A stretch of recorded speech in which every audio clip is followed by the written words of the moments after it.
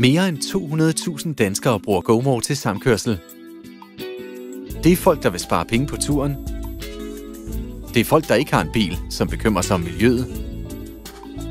Det er folk, der har en bil og bruger den meget.